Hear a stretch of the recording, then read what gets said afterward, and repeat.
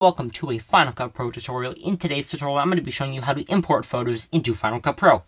Now, I've just opened up a new project here, and I want to import a photo to start off my video. What do you do? Well, there's a few ways you can do this. The first one is you go to File, um, Import, Media. Got to find a photo.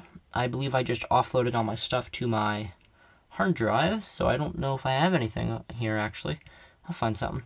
Um, but basically, from here, you're going to want to navigate to your photo image capture. Let's see if I have anything here. Nope. Um, give me a minute. This might actually take a bit because I have I literally just oh blimey. I, I literally just offloaded my computer. So basically, in you can like you like you can see, you can actually navigate your whole PC from here. Uh, so here's a screenshot. Terrible screenshot. There's a screenshot. So say I want to import this photo into my video here.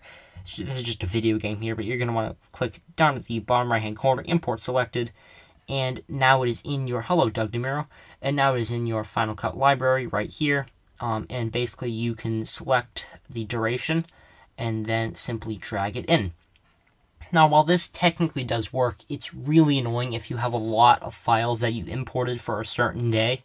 Um, like, uh, it, my, my, I just cleaned up my Final Cut Pro library, but if I hadn't cleaned up my Final Cut Pro library, this would have been impossible to find. So, I do not recommend doing that. Instead, I recommend going into Finder. Um, I probably have a photo here. There we go. I don't think Final Cut can import raw files, though.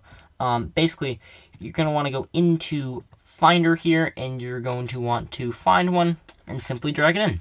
Anyways, if you have enjoyed, make sure to subscribe and hit that like button. And on screen now is a playlist of different Final Cut Pro tutorials that I have done over the past while. If you're new to the software, which if you're watching this, you definitely most are, um, I would suggest watching them.